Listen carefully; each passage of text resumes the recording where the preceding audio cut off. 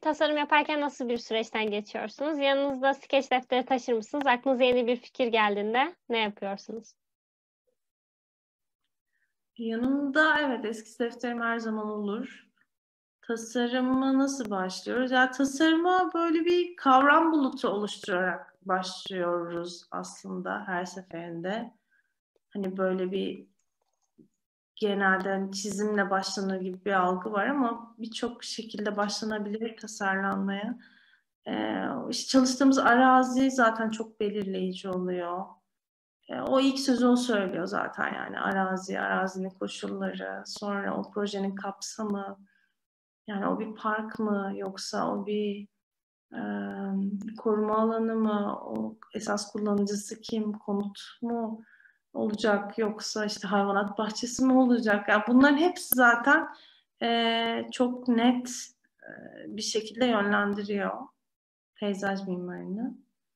E, o yüzden hani bizim çalışma yöntemimizde bir kavram bulutu, sonra o kavram bulutunun içerisinde çeşitli e, hikayeler, araştırma konuları, e, uzun bir araştırma süreci, yani öyle diyebilirim. Yani gerçekten uzun bir araştırma sürecinden geçiyoruz her seferinde. E, ya keyifle yaptığımız bir şey bu. E, bütün hani projenin e, kısıtlı zaman e, olanaklarına rağmen o araştırma başından sonuna kadar da hiç bitmiyor. E,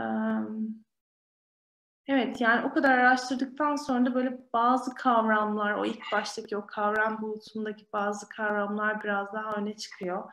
Bazıları kendi kendine eliyor. Dolayısıyla önünüzde hani esas e, ana konular kendi kendini belli etmeye başlıyor ve bir tercih yapmanıza bile gerek kalmıyor. Böyle hani arazi işveren, kendiniz, iç sesiniz, ekibiniz, onların iç sesleri şeklinde böyle e, tam da bir projeden başka bir projeye aktarılamayan, her seferinde kendi kendine oluşturan bir süreç bu.